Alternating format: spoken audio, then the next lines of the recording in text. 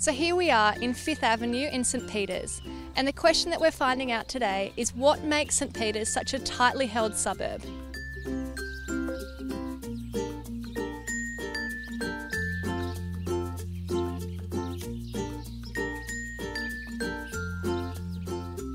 Obviously, you've got these beautiful wide avenues that have are tree lined and they're so quiet and for families it's got such easy access to schools and university and you've got an array of beautiful shopping centres around so I think for families it's got everything here and once they get into the suburb they really don't want to leave. Probably the leafy streets, um, beautiful trees, it's just amazing just to walk down the street and yeah it just makes a difference when you're here. It's very unique, people once they get here they don't move out. Even when you've got children that go to university all they have to do is hop on their bike and go along Linear Parkway and there they are at university so right from the early ages and the primary schools that are on offer, right through to university, there's no reason why you'd want to move to another suburb.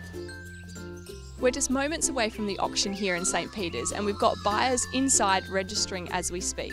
There's a lot of interest in this property, which is what we were to expect with such a tightly held suburb.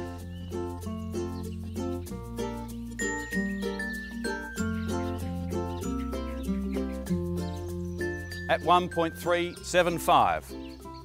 1.4, thank you, sir. At 1.4. At 1.4. 425, thank you. At 425. $1,450,000 all done. 1.46. 1.525.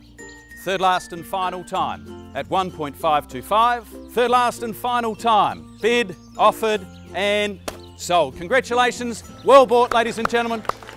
We do thank you for your attendance here today and wish you all the very best for the weekend the avenues. Obviously, they're really pretty. The consistency of houses, uh, you've got beautiful villas mainly, uh, a few bungalows and so forth as well.